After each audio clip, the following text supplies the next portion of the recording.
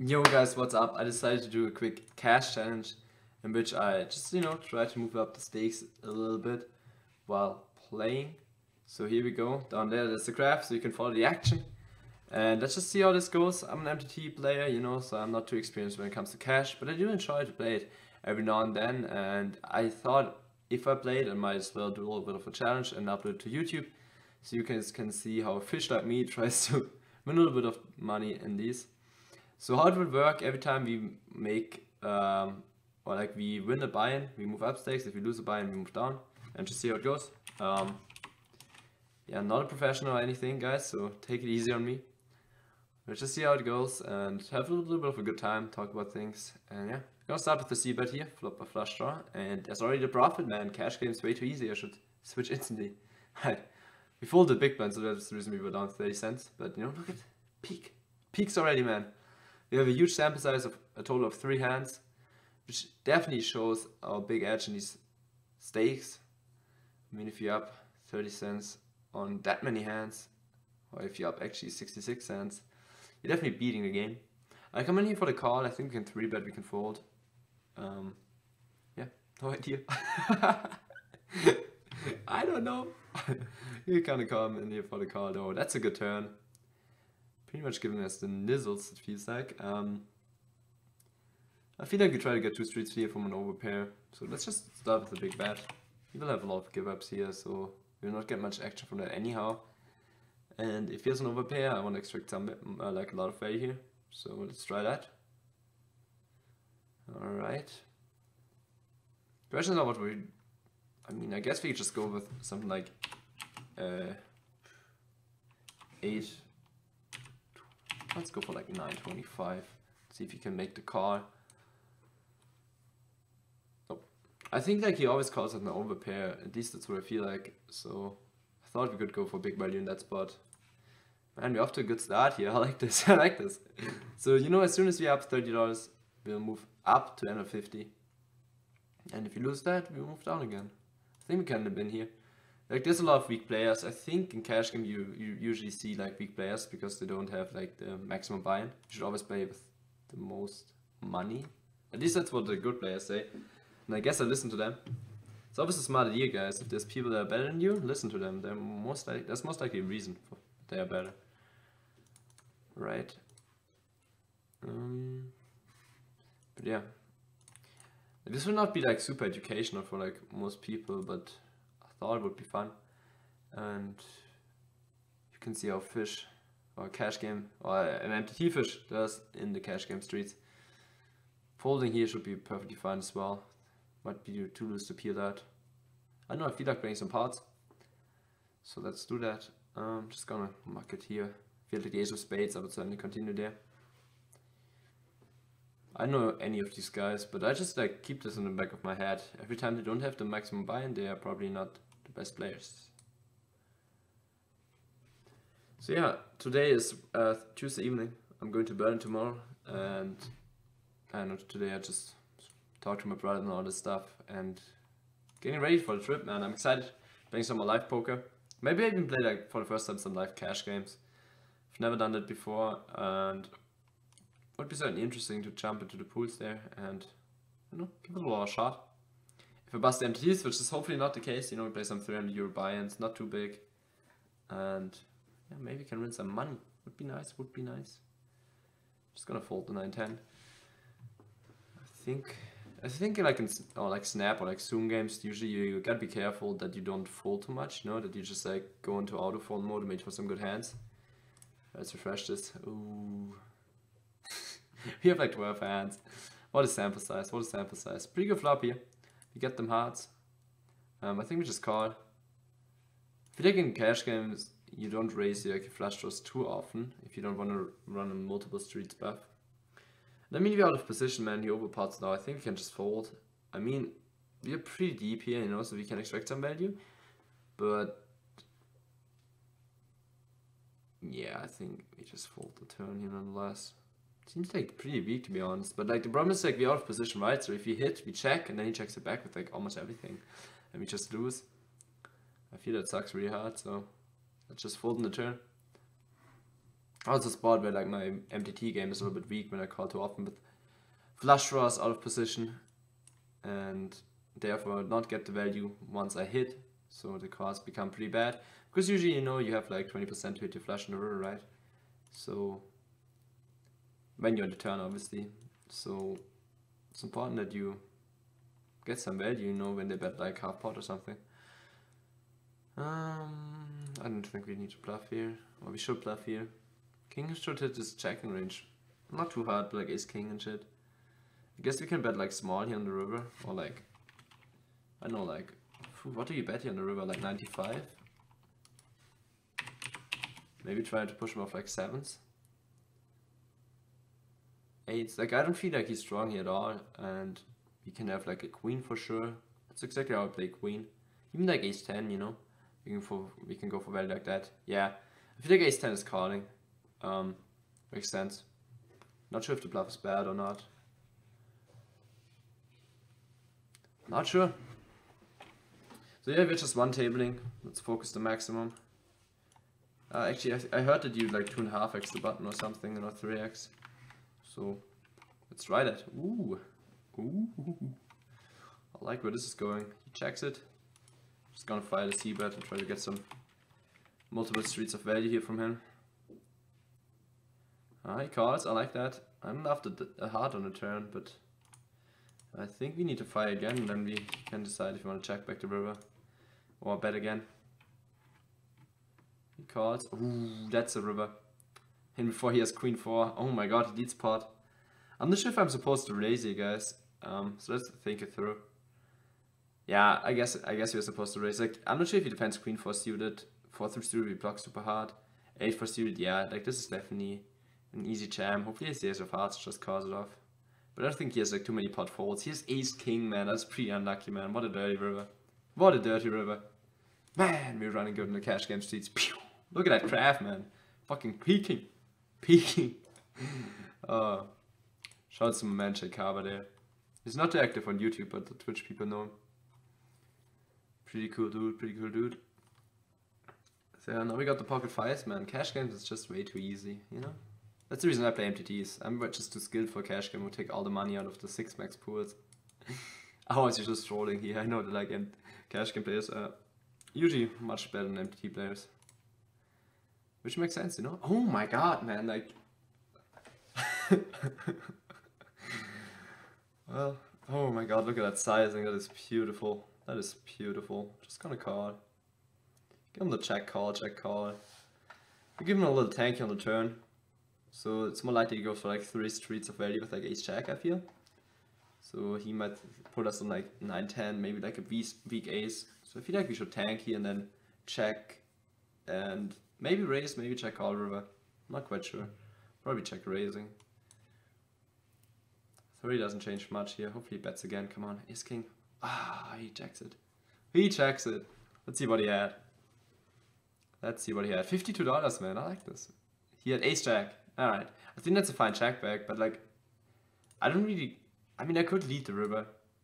As if it was like turning a 9-8 into a bluff there, but I don't really think that makes too much sense. So, yeah. Man, but like poker is easy when you flop sets, guys. You should definitely start doing that. Seems like a pretty good strat. He limps. Uh, I guess we just limp in here. I mean, folding is not an option, I don't think. We have like a suited ace, we can just flop a monster and yeah, you know, stack them. So yeah, we're definitely not folding here. We're getting pretty good odds to see a flop, so let's do that. Like his limp fold when he overcards doesn't make any sense. I mean, limping the default first place doesn't make too much sense usually. So we flop a gut shot. Um, bot's rather dry. He checks it back. It's kind of interesting now. We could fire out two bar barrels. Because I don't feel like anyone has a flush here too often. So I guess that's what we do. If you bet the turn, we gotta bet the river if the diamond doesn't hit. Because he will have like ace king with an ace of diamonds with king of diamonds quite often here, I think. So yeah, I think it's kind of mandatory to bet river again. I think we go with something like 525. Looks pretty valuey. Fold! Come on, just ace king with the ace of diamonds in the muck, dude. Oh, he's tanking. Maybe some like pocket eights, pocket sixes. He raises us, dude. Uh, we're not going for a crazy jam, he will just fold. Alright. I think that was also one of the lessons Xrix told me. You shouldn't bluff that much in cash games. You know, I, I like to bluff. But people, the problem about cash game, like the difference to MTTs in cash game in regards to bluffing is just that they, in cash game you can always rebuy, right? But in an MTT, if you put them on, if you put them on a bluff and a hero card, you know, and you lose, you're just out of the tournament most of the times. And so there's like a completely different level of pressure on people, which makes people more likely to hero card in cash game and opposite of uh, tournaments. Here we're just gonna limp, he's going to limp, he's pretty short. And now we're just gonna fire out a C-bet. And I gotta be, be careful with the bluffs. We get punished like, we made two bluffs it so far I think. We got punished both times. Um, yeah, not a, not a good, not a good, uh, frequency, not what, what do you call that? Not a good. I don't know, not a good amount of. God, I'm fucking retarded. I don't know. I don't know. I'm German, guys. Take it easy on me. Little Bob here. Some of these nicknames, dude. HH2HH. What up? We got the Borg, man. They're scared. They don't want to play parts. Because they know that I flop a set with everything. Even with 10 4 off, man, we can flop sets. Uh, running hard, bluff's not working out. Good combo. Limps again, dude. I'll give him a raise here. Actually, in cash game, everything you make is bigger. You know, usually in like MTTs over 4x here, so let's just go for 5x. Wow, the limp fold, man, is quite nice. I could make a note on him. Uh, limp folds, 100 big blinds, 5x.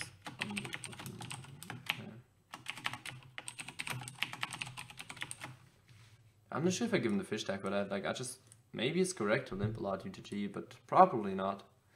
Not the most common strategy.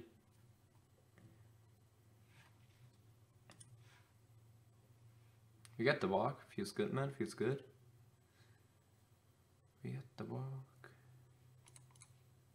There's a little bit of music in the background. I'm not sure if you hear it. Um, you know, just to make things a little bit smoother. And now we're just waiting for some suited hands, because suited is always good. Queen check offers will be good enough to open here. I do not think we can call an open though, but he limps. I will give him a raise again. I mean, let's see if people like to fall to these 5x raises on the button. You know, we just pick up strategy while playing. I think it's like it's reasonable to raise a limp here and play like a pot in position with the betting lead. And he just leads half pot, man. I have no idea what to do here. I, I mean, I have no idea what he has here. Probably like maybe like ace eight suited type hands. I mean we have we have no spade. Like with the queen of spades, we can certainly continue there, but like with nothing pretty much, just uh, to overcut. I think it would be a little bit too loose to continue there. We could give him a raise and just not believe the story and like try to rep ace really hard, but that just that's much better if he has the queen. If if if we have the queen of spades, right? Then we can bluff turns and rivers, and even like get there sometimes, you know. So we defend check seven. Not my flop, not my president. Just gonna check it. And give up here. Queen's like pretty bad to turn to be bluffing too much here. I mean if you had like spades we could bluff them. So yeah. I'm trying to play like not like a super balanced style here because first of all I don't know how to play that. I didn't do like the math on cash games, the GTO work at all. I would just like try to bluff when I have like some backdoor draws and try to bluff when I have I know when it just makes sense to bluff with like the ace5 for example, you could hit the 4 for like pretty much the nizzles if it's a non-spade. And I really felt like the guy that checked the flop wasn't all too strong. But yeah, probably was wrong. Um, maybe bluffed us. I don't know, man. These cash game players. We will just continue flopping sets. I think that's a good strategy.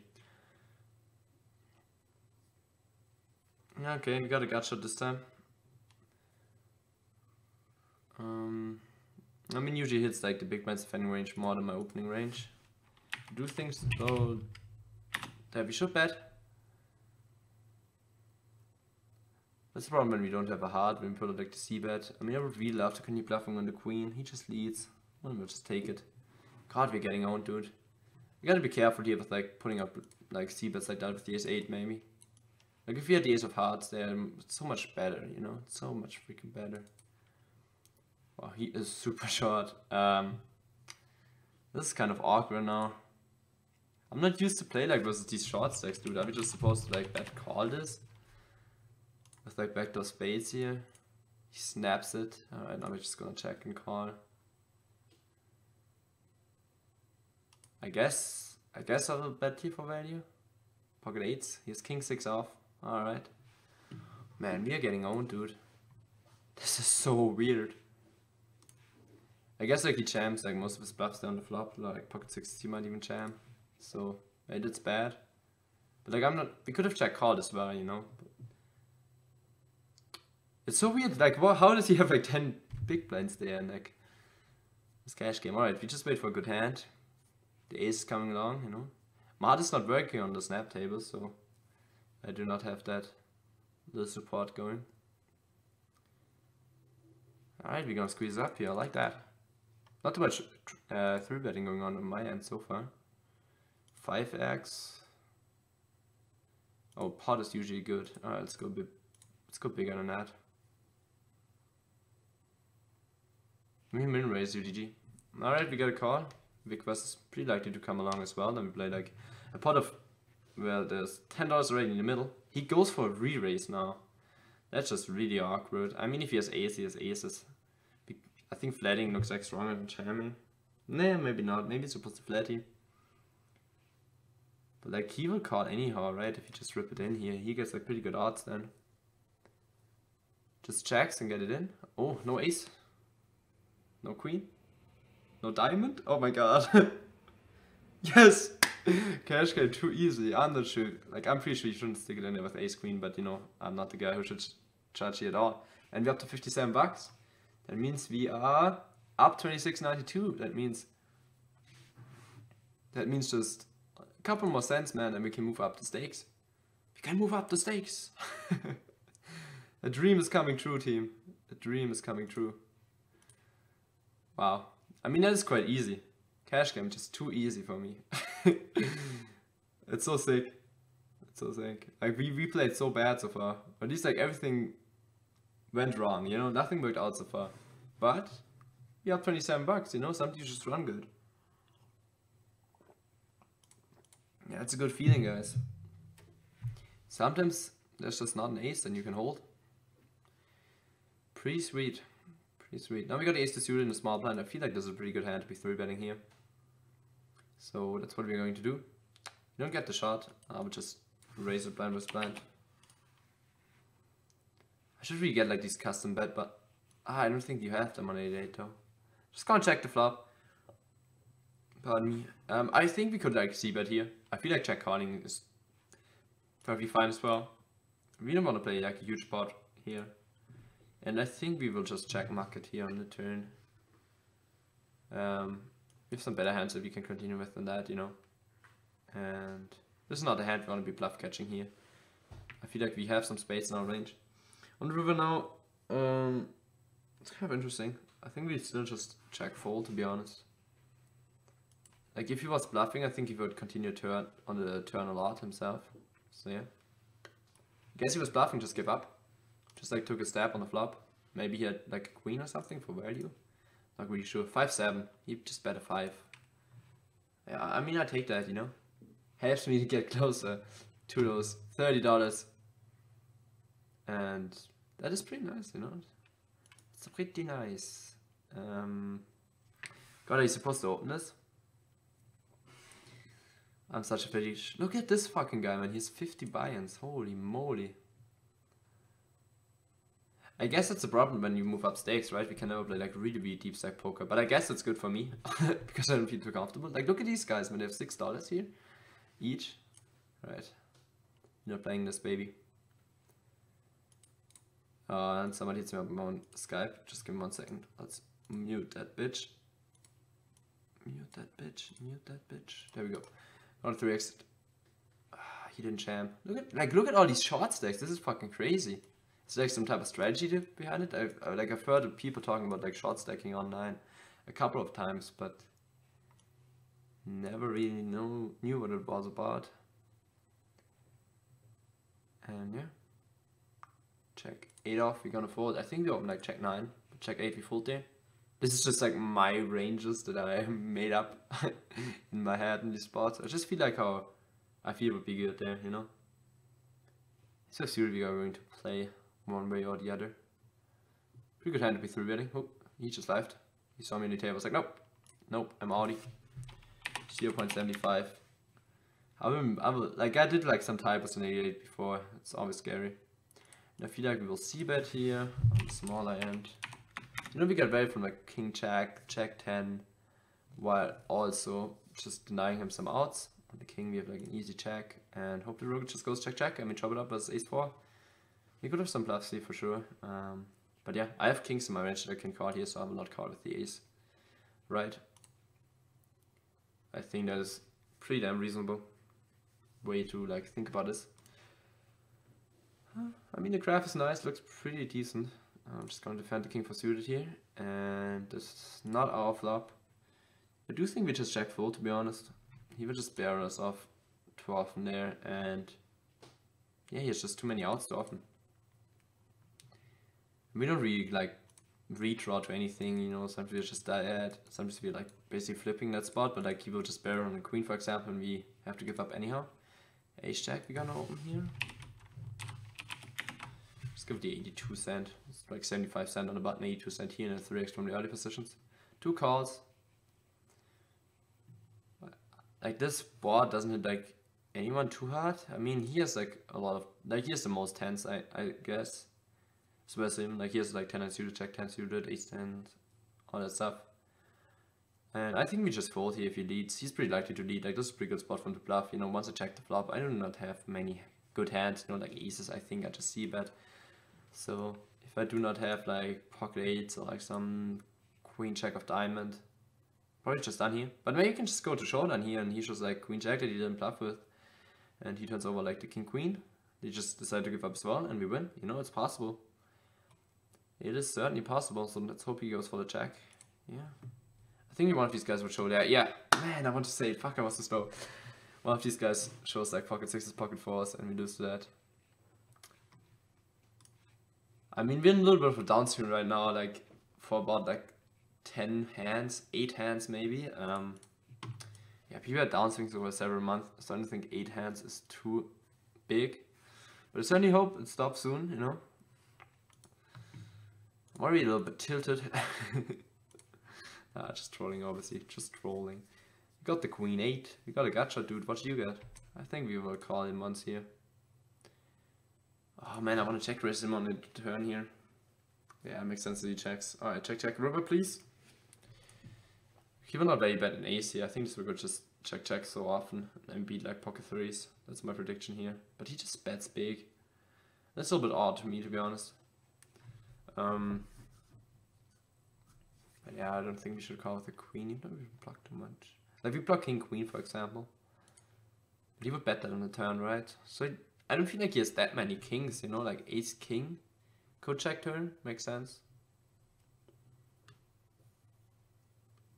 Um, like what bluffs does he have? Like sevens. You gotta have sevens, you know. So I'm not sure if people turn sevens into bluff there. But like it's cash game, right? Cash game players are better. They probably bluffed it with sevens. You know, MTT regulars are just like check. Maybe he has like I don't know pocket deuces. I could certainly have that though, given like the way we played it. You know, we call flop and then just give up. Hmm. Man, it's funny to be that inexperienced in something, even when you play poker for such a long time. You know. Give him the three bet here. Wait, X6 always just press pot, but I don't think that's the way to do it here. I think that's a bit too big.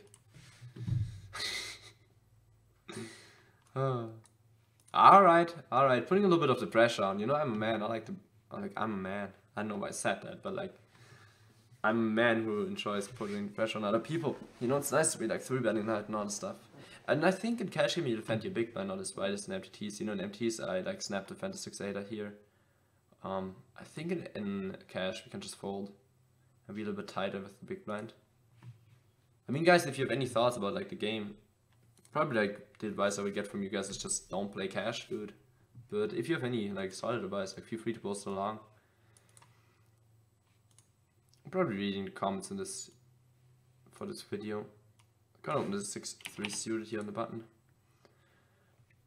The Ace 2006 is the guy that limps UTG. He seems also pretty tight in the big blind, to be honest. What's pretty crazy about like cash games here, like on 888, is that you that the HUD is not working, right? And I feel like, in, especially like Snap or Zoom Poker, it's really important that you have it, to be honest.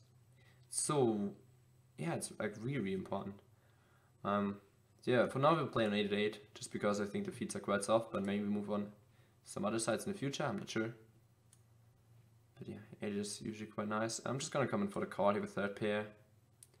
Like this bot just hits my range way harder than his. So when he c-bets, I think he has a lot of flush draws actually. So I will obviously just fall to another bet here on the turn. I feel like with like, if he took a step with like queen check or check 10, I think he gives up a lot. So take it, sir.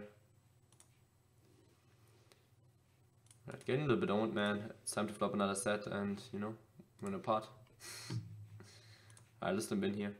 That's at least nice. We got some limpers, you know, so we can play some pots. Ooh, baby. You know, flop a set. We take we take trips, you know. Trips not quite a set, but still pretty good. Oh, and boarding up. I'll check again though. Um, yeah, I'm not sure. Maybe I'm supposed to bet there. Because now we just call.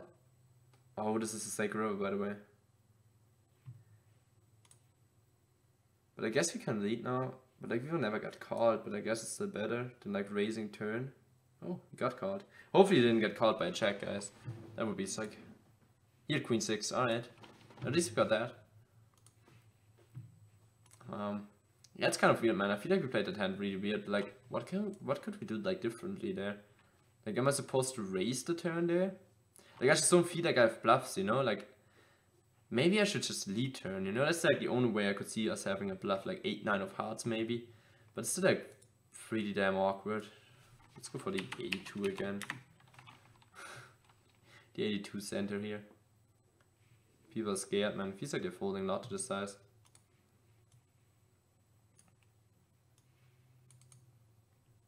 Alright.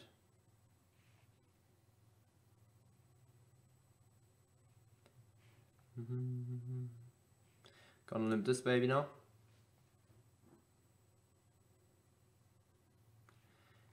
Um, I mean, I mean we can bet, we can bear it again on an ace, a king, a nine.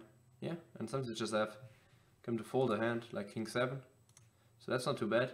I also pass out like zero next big blind, and once we're in the big blind, we will call this an episode and try to beat them next time.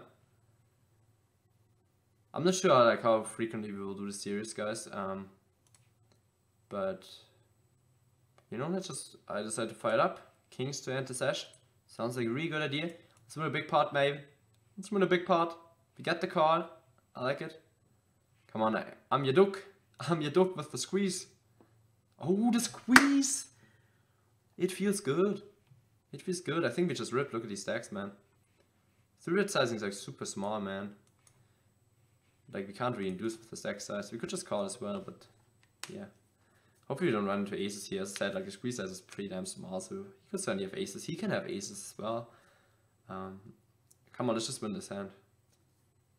Wow.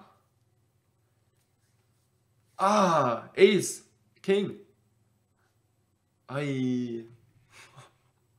What is he doing, man? What is he doing? And again, man, we end the session running under V. I'm just a guy that, that never is lucky. That just never left. but that's okay, guys. We finish our first session here. Um, let's quick. Whoa, there we go. Wait, let's put this on here. There you go. This is the session. Put like 100 hands. Made a profit of $15. We'll be back next time, guys. I hope you enjoyed the episode. And yeah, enjoy your days, guys. Good luck at the table. See ya. Thank you guys for watching. If you enjoyed the video, don't forget to press the like button down below and subscribe to the channel over here. Over here we have my social media links if you want to shoot me any messages. Follow me around for updates, pictures when I'm going to live events and more. And over here some extra videos. If you want to check out more content, be sure to do so. Thanks so much for hanging out guys. Good luck on the tables. I will catch you next time.